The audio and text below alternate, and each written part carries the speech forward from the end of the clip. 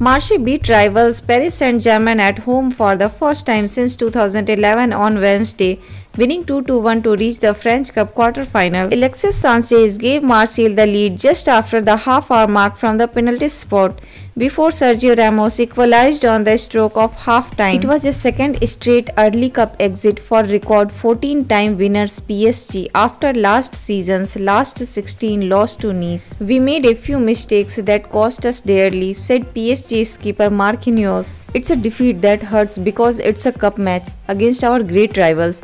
We wanted to come back to Paris with victory. We have to do better, keep working and move forward.